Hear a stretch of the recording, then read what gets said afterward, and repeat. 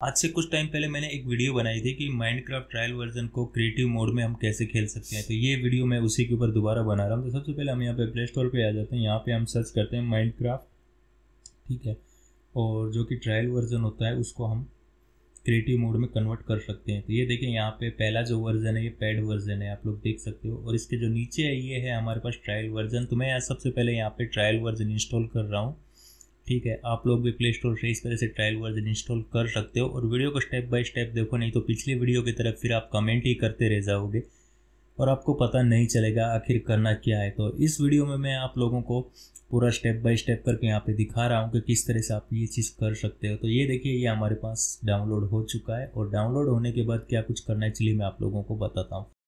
तो अब हम यहाँ पे अपने माइंडक्राफ्ट को ओपन करेंगे, ठीक है, जैसे ओपन करेंगे, आप लोगों को सिंपली प्ले पे क्लिक करना है।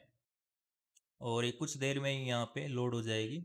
ठीक है, अब यहाँ पे आप लोगों को एक नया वर्ल्ड क्रिएट करना है और उस वर्ल्ड को देखो, मैं आप लोगों को दिखाता हूँ, यहाँ पे सर्वाइवल है। अगर मैं सर्वाइवल को यहाँ पे मैं क्रिएटिव करता हूँ तो एक पॉपअप शो होगा this is not paid version ये कह रहा है कि आपका पैड वर्जन नहीं है। फिर एक बार ट्राई करके देखते हैं। सेम यही एरर आएगा, लेकिन इस एरर को कैसे फिक्स कर सकते हैं, वो मैं इस वीडियो में बता रहा हूँ। तो चलिए, मैं आपको आगे बताता हूँ। सिंपली अब आप लोगों को अपने गेम को कर लेना यहाँ से क्लोज ठीक है? तो चलिए गेम क्लोज करते हैं और आगे का मैं प्रोसेस बताता हूँ आपको। यहाँ पे अब आप लोगों को दो एप्लीकेशन लगने वाली है, ठीक है? एक है pro Z archiver pro Z archiver play store में है, लेकिन पैसे से मिलता है तो आप लोग कैसे डाउनलोड करोगे, आप लोगों को पता है, ठीक है? और एक दूसरी सेकंड एप्लीकेशन है यहाँ पे रूट एक्सप्लोरर आप प्रो यूज़ कर सकते हो या रूट एक्सप्लोरर यूज़ कर सकते हो, दोनों में से एक चाहिए। सिंपली गूगल पे जाके सर्च करो और फ्री ऑफ़ डाउनलोड कर सकते हो, कोई दिक्कत नहीं है, ठीक है? तो मैं यहाँ पे यूज़ करूँगा जेड आर्चिवर जैसे हम जेड आर्चिवर को यहाँ पे ओपन करेंगे तो हमें यहाँ पे सिंपली एंड्रॉयड नाम के एक फोल्डर के अंदर जाना है, ठीक है? एंड्रॉयड के फोल्डर के पे जाएँगे डाटा के अंदर, और अब हम करेंगे यहाँ से थोड़ा सा स्क्रॉल डाउन और अब ये आप लोगों को काफ़ी सारे फोल्डर दिख रहे होंगे। हमें यहाँ पे ढूंढना है com dot Mojang dot com नाम का एक फोल्डर क्योंकि अब इतने सारे फोल्डर ये मेरे इसलिए दिख रहे हैं क्योंकि मैंने अपने मोबाइल के अंदर बहुत सारी एप्लीकेशन इंस्टॉल कर रखी है। आपके मोबाइल के अंदर जितनी एप्लीकेशन इंस्टॉल होगी, उतने आपको यहाँ पे फोल्डर बने हुए दिखाई देंगे और जितनी कम होगी, उतने कम। अब यहाँ पे जो जेड आर्चिवर है, ये यूज़ करने का बेनिफिट ये है कि आपको फोल्डर के ऊपर आप छोटे छोटे देख सकते हो, जो एप्लीकेशन के आइकन बने हुए होते हैं। तो इसी तरह से आप लोगों को यहाँ पे माइनक्राफ्ट का आइकन को ढूंढ लेना है, ठीक है? तो चलिए मैं यहाँ पे ढूंढ लेता हूँ। और आपने जितनी भी एप्लीकेशन इंस्टॉल की होगी, सबके यहाँ पे दिख जाएँगे। ये देखें यहाँ पे माइंडक्राफ्ट का हमें यहाँ पे फोल्डर दिख रहा है, लेकिन अब आप लोगों को सिंपली माइंडक्राफ्ट के फोल्डर के अंदर जाना है, उसके अंदर एक और फोल्डर मिलेगा और यहाँ पे आप लोगों को एक टेक्स्ट फ़ाइल मिलेगी, इसे सिंपली डिलीट कर देना है। ठीक है? जैसे आप टेक्स्ट फ़ाइल डिलीट करके अपना गेम ओपन करोगे, आपका जो एरर है वो फिक्स हो जाएगा। लेकिन कई लोगों के एंड्रॉयड मोबाइल में टेक्स्ट फ़ाइल यहाँ पे देखने के लिए नहीं मिलेगी, ठीक है? तो वो लोग कैसे फिक्स करेंगे, वो मैं चलिए बताता हूँ आप लोगों को।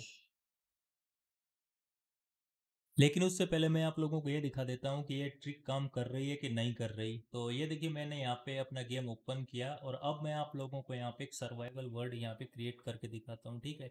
इजीली क्रिएट हो जाएगी।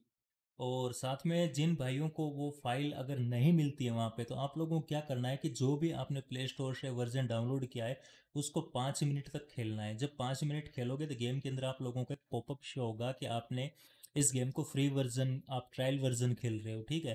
तो उस टाइम आपको ओके करना है और तभी आपको अपनी गेम को बंद कर देना है। उसके बाद जो मैंने प्रोसेस बताया उसको फॉलो कीजिए, तब आपके वहाँ फोल्डर के अंदर वो फ़ाइल देखने के लिए मिल जाएगी। काफ़ी लोगों के स्टार्टिंग में ये फ़ाइल क्रिएट हो जाती है। काफ़ी लोगों के एंड्रॉयड डिवाइस में फ़ाइल क्रिएट नहीं होती।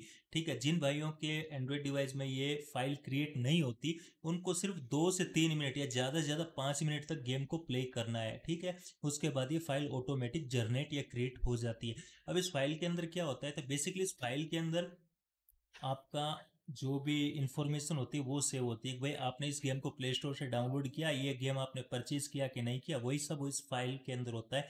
गेम जब ओपन करते हो तो गेम सबसे पहले इसी फ़ाइल को एक्सेस करती है और उसके हिसाब से आपका मैच मेकिंग जो भी आपको एक्सेस करने की परमिशन है वो अलाउ करती है। दैट्स इट गाइस इस वीडियो में इतना ही। फिर मिलते हैं किसी अगले वीडियो में। अगर आप लोगों को कुछ हेल्प हुई हो तो आप मेरे साथ जुड़ सकते हो चैनल को सब्सक्राइब कर सकते हो और अगर फिर भी कोई प्रॉब्लम आती है तो नीचे आप कमेंट करके मेरे को बता सकते हो, मैं फिर भी हेल्प करूँगा।